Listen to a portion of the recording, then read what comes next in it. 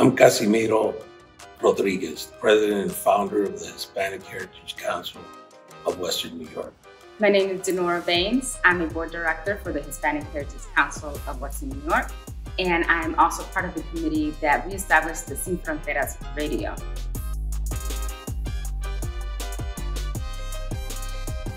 Sin Fronteras of Western New York is a bilingual, bicultural radio program that serves the Western New York community.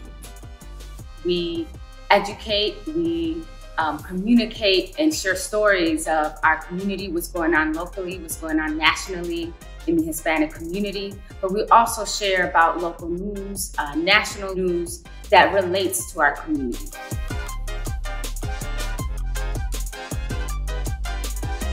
Sin Fronteras Radio will have uh, a diverse set of programming. We will be having talk shows, we'll be interviewing people. It, you think about it, and Sin Fronteras wants to be able to bring it to the Hispanic community.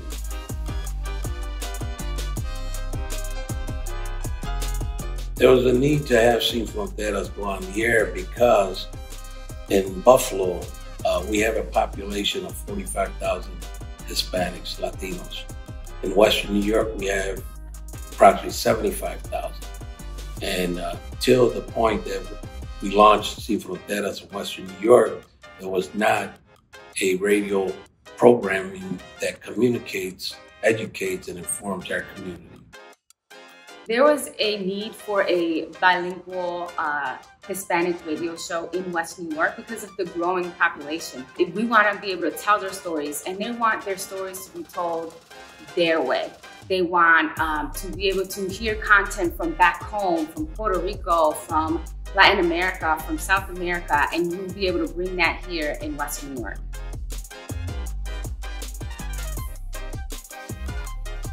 Well, the reason why Sin Fronteras of Western New York is so important to the Hispanic community in Western New York is because it's the only means of radio programming that serves our growing Hispanic population in Western New York and Southern Ontario. A radio show like Sin Fronteras West New York is important to the Buffalo community because it creates diverse content that all can enjoy.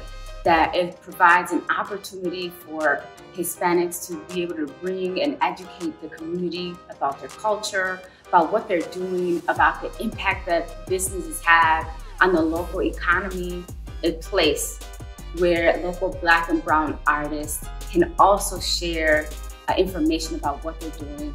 Local black and brown businesses can also come to the radio show and have a place for them that they can share what they're also doing, and what the services they provide.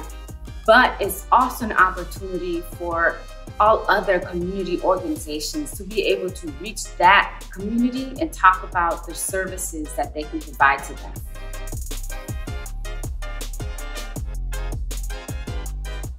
So Sin Fronteras West New York was actually reestablished. So we had started this um, years ago where board directors were also doing interview shows. And then we decided we needed to bring this back because it's important to our community. And lucky enough that WBFO uh, decided to, hey, come on board.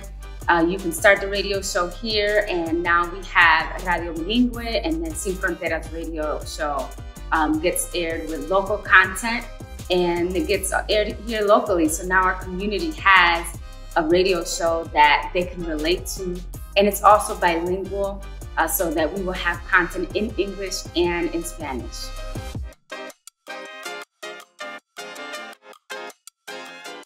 Sin Fronteras West New York is a component of the Hispanic Heritage Council of West New York.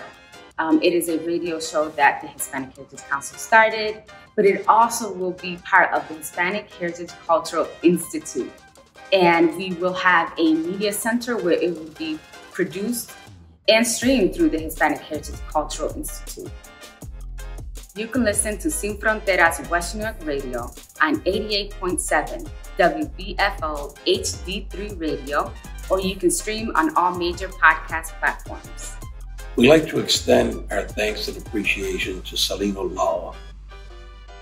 Through their underwriting, we're able to promote and produce Hispanic, bicultural, and bilingual programming through Sin Fronteras to Western New York and Southern Ontario.